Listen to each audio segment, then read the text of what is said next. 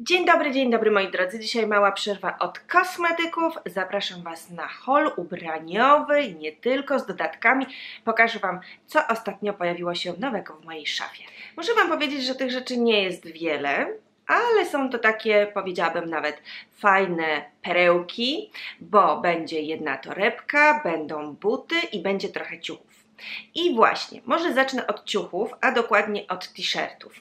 Kto mnie ogląda, ten doskonale wie, że ja w e, mojej szafie wiosenno-letniej zawsze mam białe t-shirty. Lubię je sezonowo zmieniać, kupować nowe, odświeżać. Mm, stawiam na t-shirty bawełniane, które będą w 100% bawełniane, e, ze względu właśnie na to, jak się je nosi, jak człowiek się poci, jak jest wygodnie. A słuchajcie, t-shirty, takie białe t-shirty, to jest genialne rozwiązanie właśnie na wiosnę i lato. Dlaczego? Warto mieć je w swojej szafie, bo kiedy mamy takie luźniejsze dni, jedziemy na jakieś zakupy, wybieramy się na spacer, nie musimy się stroić do pracy, mamy weekend, nie wiemy w co się ubrać, t-shirt to jest zawsze dobre rozwiązanie, bo wystarczy, że założymy taki właśnie, taką koszulkę na siebie, do tego jeans, jakieś wygodne buty, sandałki, spodenki i jesteśmy gotowe. Więc nie trzeba tak naprawdę kombinować. Można mieć kilka t-shirtów w swojej szafie i wykorzystywać je na milion sposobów. No i właśnie ostatnio, e, przechodząc w galerii pomiędzy sklepami, tak z ciekawości weszłam do Mojito. Ja rzadko wchodzę do tego sklepu, ale jak już wejdę, to lubię się tam rozejrzeć, co ciekawego się pojawiło. I moją uwagę przyciągnęły t-shirty, które już mogliście widzieć na moim Instagramie i jak tylko się w nich pojawiłam, to od razu padły pytania skąd, skąd, skąd i skąd. Więc tak, pierwszy t-shirt 100% bawełna, biały, e, z takim dosyć dużym dekoltem, i zobaczcie, z takim nadrukiem niebiesko-różowo-żółto-złotym. E, każdy z tych t-shirtów kosztował e, niecałe 50 zł, więc cena moim zdaniem bardzo dobra jak na takie koszulki, e, ale musicie zwrócić uwagę na rozmiary. Ja wybrałam rozmiar XS, mimo tego, że zazwyczaj noszę albo S, albo M. Nie wiem, co się stało z rozmiarówką w Mojito. Jakoś ona strasznie się zmieniła. Te e, rozmiary mam wrażenie, że są zawyżone. Dlatego jak zobaczyłam S, to stwierdziłam, że jest bardzo szeroka. Wzięłam XS, jest w sam raz, a chyba jest nawet jeszcze XXSK, więc jeśli jesteście bardzo szczupłe, tak jak ja, to zwróćcie na to uwagę, albo jeżeli jesteście troszeczkę większe niż ja, to też wybierzcie mniejszy rozmiar niż wasz standardowy. Więc pierwsza koszulka prezentuje się tak, a druga koszulka przedstawia się tak.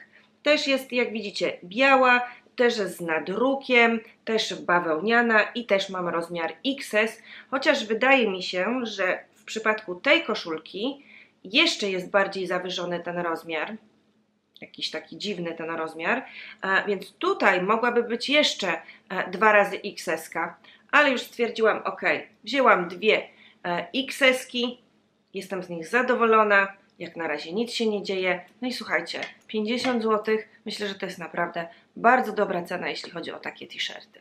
Lecimy dalej. Teraz mała zmiana od ciuchów. Pokażę Wam torebkę. A dlaczego torebkę? Dlatego, że jest to mój urodzinowy zakup. I ta torebka pojawiła się u mnie już w maju. Część z Was wypatrzyła o co chodzi, już widziała gdzieś tam na zdjęciach na Instagramie, e, ale ja tę torebkę zobaczyłam jak tylko pojawiła się nowa kolekcja w marce Toast. Prezentuje się ona w ten sposób i to są oczywiście te wersje tote bag.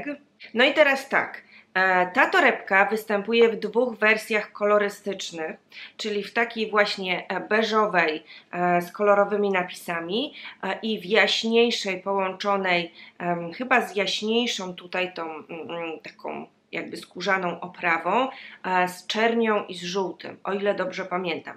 Oczywiście na stronie macie dokładnie pokazane te torebki, więc fajne jest to, że mamy te dwie wersje kolorystyczne. Natomiast dostałam też pytanie o rozmiar. To jest mała torebka, zobaczcie. Na pewno część z Was kojarzy moją torebkę z Furli, przepraszam Was, ale coś mi dzisiaj zanika głos. E, pewnie kojarzycie moją torebkę z Furli i tam mam rozmiar L torebki i ona jest dosyć duża. Ona jest taka, powiedziałabym, standardowa, jeśli chodzi o tote bag, natomiast ta jest właśnie taka mała, ale mimo tego, że jest mała, jest naprawdę tutaj bardzo obszerna, pojemna i wygodna. Podoba mi się to, że ta torebka w środku też jest obszyta tkaniną, taką trochę podobną do lnu, Szczerze Wam powiem, że nawet nie wiem, czy jest to bawełna, czy jest to len.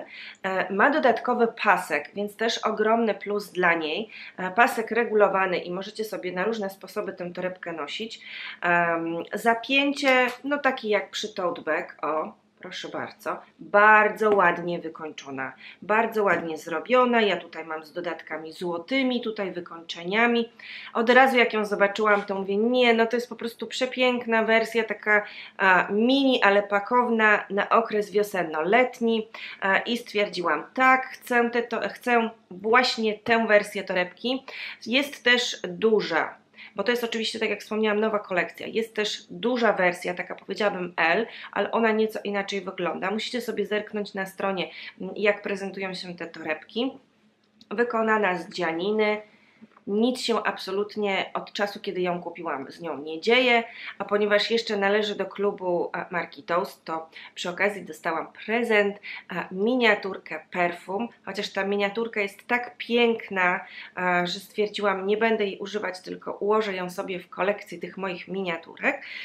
Także słuchajcie, torebka kosztowała mm, niecałe 800 zł, o ile dobrze pamiętam, a chyba 7, 750, coś takiego. Oczywiście ja postaram się zostawić w opisie dla Was linki do tych produktów, do tych rzeczy, o których dzisiaj opowiadam, żebyście sobie też mogli sprawdzić, e, jak to wygląda cenowo, jak z dostępnością, gdzie można kupić, jakie są inne wersje, ale powiem Wam, że jestem bardzo z niej zadowolona. To jest naprawdę fajna opcja, właśnie taka wiosenno-letnia, kiedy nie musicie nosić e, bardzo dużo rzeczy ze sobą, potrzebujecie czegoś mniejszego, ale z drugiej strony też nie takiej małej torebki, jak na pewno znacie te moje Love, uh, Mini Love Bag od Pinko. Także torebka, kolejna w mojej, powiedziałabym, torebkowej kolekcji. Kolejna rzecz będzie bardzo kolorowa, bardzo soczysta i też już ją u mnie widzieliście.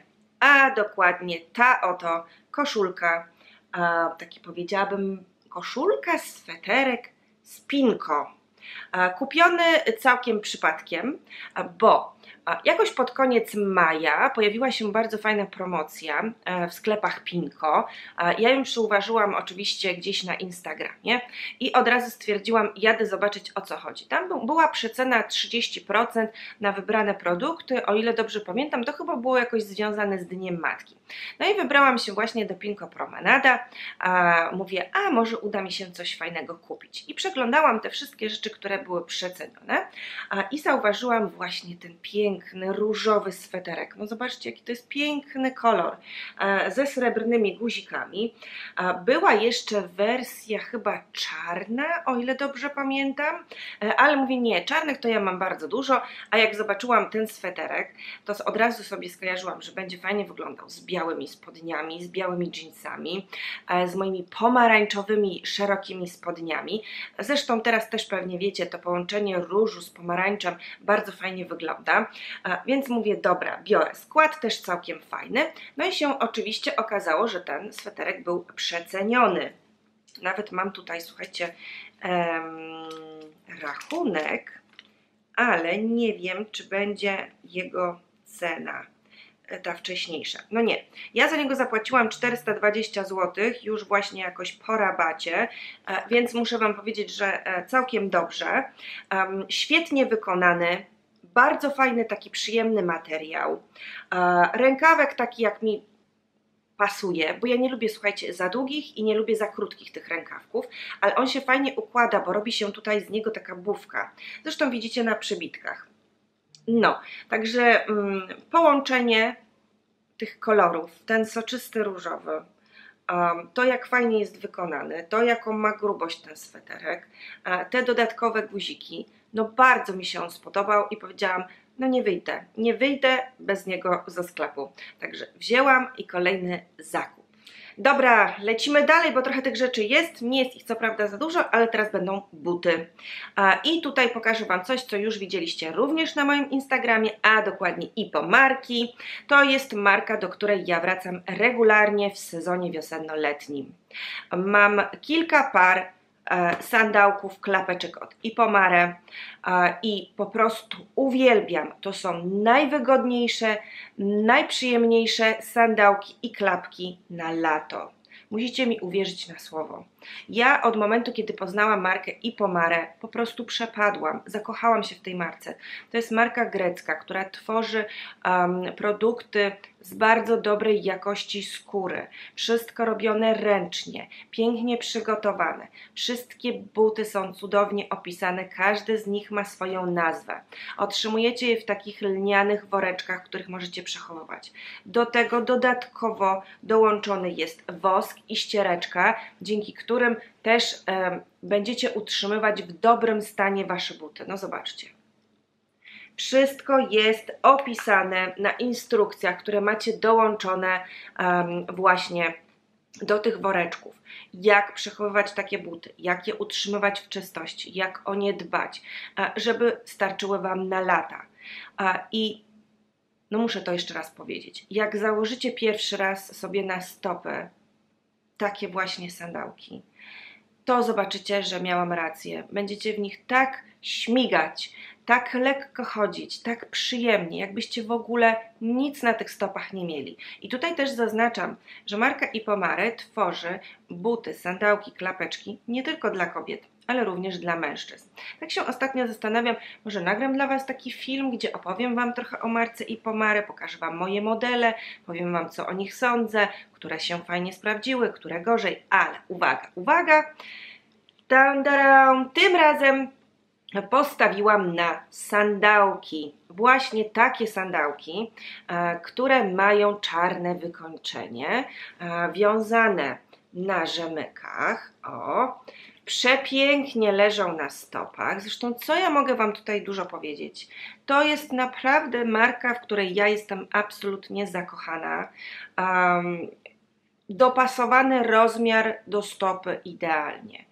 Wykończenie to, jak się w tych butach chodzi. No, jak dla mnie, powiem Wam szczerze, same plusy. I wcale nie są to drogie buty. Mm, można je kupić czasem na fajnych promocjach. Warto zerkać sobie na stronę, warto odwiedzać profil na Instagramie marki i Pomare. No i tak jak mówię, brakowało mi takich właśnie z wykończeniem czarnym, do różnych takich moich t-shirtów i nie tylko. I pomyślałam sobie, że te będą w sam raz. No i się nie pomyliłam. Co prawda jeszcze w nich nie chodziłam, więc um, nie mogę Wam powiedzieć, jak sprawdza się ta opcja właśnie takiego wiązania z rzemykami, ale na pewno dam Wam znać. Także bardzo proszę, kolejne i pomarki w mojej kolekcji. A skoro jesteśmy przy butach, to nie może zabraknąć Zary. Chociaż powiem Wam, że ja w Zarze bardzo, ale to bardzo rzadko kupuję buty. Dlaczego? Dlatego, że już wiele razy z, um, miałam taką sytuację, że kupiłam buty i były albo niewygodne, albo szybko się rozwaliły, e, albo coś się z nimi działo i tak jak lubię Zary, jeśli chodzi o ubrania, to tak nie do końca jestem przekonana do butów i torebek, mm, chociaż tak jak mówię, parę razy kupiłam czy to torebki, czy buty, no ale tym razem e, te mnie urzekły, mojego Massimo też, bo jak je zobaczył, to mówię, wiesz co, fajne, fajne, przymierz. No i jak przymierzyłam, to mówię, a w sumie, co mi szkodzi? Chociaż jest to pierwszy tego typu model w moich butach, jeśli chodzi o moje buty, i muszę zobaczyć, ja, czy się w ogóle do niego przekonam.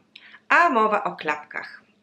Dokładnie o tych klapkach, takich mm, beżowych, powiedziałabym, brązowych, takich jasno-brązowych w kolorze skóry, z przepiękną aplikacją.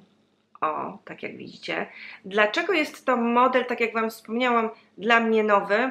Bo po pierwsze, ja nie mam w swojej kolekcji butów, które mają takie tutaj wykończenie. E, jestem, może jestem e, przyzwyczajona do tego, że jeśli już klapki, to raczej takie bardziej zaokrąglone, e, więc nie wiem jak będzie mi się chodziło w tego typu klapkach, jak się do nich przyzwyczai. Chociaż ten model jest ostatnio bardzo popularny i widać to, czy to jakieś sandałki, czy szpileczki, mm, czy jakiekolwiek inne buty właśnie z tym takim czubkiem. No nie wiem, dla mnie to jest nowość, zobaczymy jak, jak będzie mi się sprawdzać. No i też oczywiście płaskie, bardzo, bardzo płaskie. I teraz, co chciałabym Wam powiedzieć od razu, jeśli chodzi o te klapki, jeśli będziecie się zastanawiać, czy sobie je zamówić ze, sklep, ze sklepu online. Jeśli macie możliwość, żeby je przymierzyć, to od razu to zróbcie w sklepie, tak, stacjonarnym. Natomiast jeśli będziecie zamawiać je online, to tak. Ja noszę standardowo rozmiar 38, tu mam 37, dlatego że 38 był bardzo na mnie za duży. Po prostu wystawała mi tutaj dosyć mocno pięta. Więc wzięłam rozmiar 37. Druga sprawa. To są klapki dla osób, które mają szczupłą stopę. Przede wszystkim dlatego, że tutaj ta część, klapka jest bardzo mocno opięta i wąska, więc jeśli macie e, tą część grzbietową stopę dosyć taką rozbudowaną, wyższą, albo macie po prostu większe stopy, takie szersze stopy, to absolutnie nie będą klapki dla Was. Będą Was cisnąć tutaj, być może też stopa Wam tutaj w tym miejscu nie wejdzie w tego klapka, ale też, co jest istotne, te klapki są też tutaj bardzo wąskie, w tym miejscu. Więc jeśli, no właśnie, Wasza stopa jest taka dosyć szersza, płaska, to sobie odpuśćcie te klapki, bo one może wyglądają pięknie, ale nie będą dla każdego. Więc od razu Was uczulam, od razu Wam zaznaczam, mimo tego, że tutaj ta część wydaje się szeroka, właśnie taka płaska, to z kolei tu jest dosyć wąsko i ciasno, tutaj też jest bardzo mocno wyprofilowany ten klapek, no i rozmiar musicie zwrócić też uwagę na to, że um, rozmiarówka jest inna niż standardowa, no i ja właśnie wzięłam 37. A tutaj też e, zaznaczę, że to nie są najtańsze klapki, bo ja za te klapki zapłaciłam niecałe 200 zł, więc jak na klapki to jest dosyć dużo, a m, na klapki, które nie są w standardowym rozmiarze, które nie będą na każdą stopę, bierzcie to pod uwagę. I ostatnie dwie rzeczy, które chciałam Wam pokazać właśnie z Zary, to są białe jeansy, to są spodnie, o które bardzo często mnie pytacie. No może nie o ten model, ale o białe jeansy. Bo ja już mam w swojej szafie mm, takie białe jeansy i takie lekko, lekko szare, które bardzo często na filmach wyglądają właśnie jako, jak białe jeansy. I dopytujecie mnie skąd. Jeśli chodzi o białe spodnie, białe jeansy, to ja zawsze kupuję je w Zarze.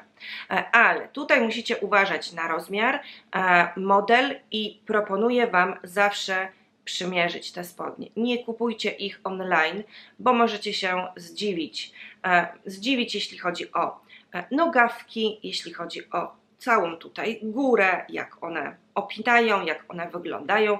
Nie wszystkie modele leżą dobrze i nie wszystkie wyglądają dobrze, mimo tego, że właśnie w tym sezonie wiosenno-letnim w Zarze bardzo często pojawiają się białe spodnie i białe jeansy i wtedy najlepiej je kupować.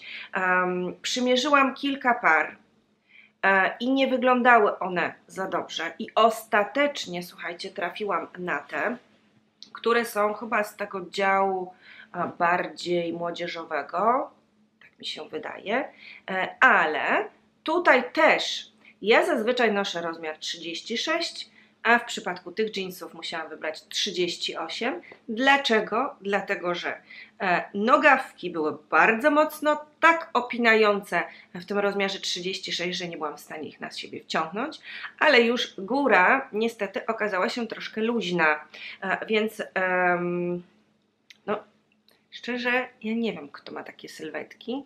E, ale ciężko jest dobrać spodnie w Zarze, dlatego nie kupujcie ich online, bo będziecie zwracać. Raczej proponuję Wam, jeśli macie taką okazję, przymierzcie sobie wcześniej spodnie, zwłaszcza jeansy, bo z tymi jeansami w Zarze to bardzo różnie bywa.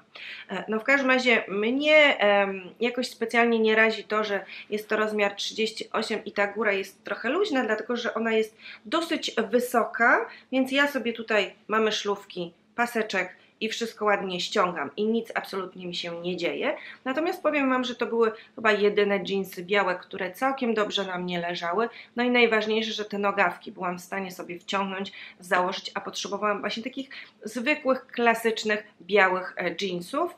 Mm, też z całkiem dobrego materiału, bo on nie jest za gruby i nie jest za cienki. Chociaż gdyby był cieńszy, to też by było super. Ale jest ok, także zwykłe, białe jeansy z kieszeniami z tyłu, kieszenie z przodu, na guzik, na suwak, proste nogawki. O, zobaczcie, tak się prezentują. I bardzo dobra cena. Moi drodzy, i ostatnia rzecz na dziś, czyli ostatnia rzecz z Zary i to będzie koszula. E, koszula, którą wypatrzyłam na manekinie i ona była w zestawie ze spodenkami. Natomiast spodenki okazały się dla mnie za krótkie i też jakoś tak dziwnie leżały.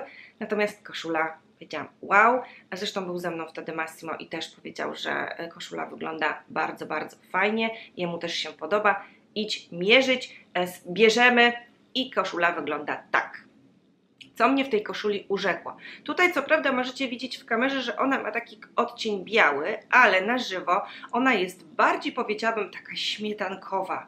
To nie jest idealny biały kolor, ale ma przepiękną koronkę. Koronkę tutaj na kołnierzyku, koronkę, którą jest wykończona na rękawach, no i oczywiście dół koszuli, który też mamy z koronki.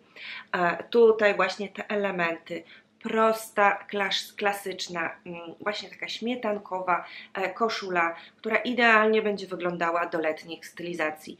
Naprawdę wygląda super w połączeniu z tymi spodenkami, ale tutaj też, tak jak mówię, trzeba mierzyć.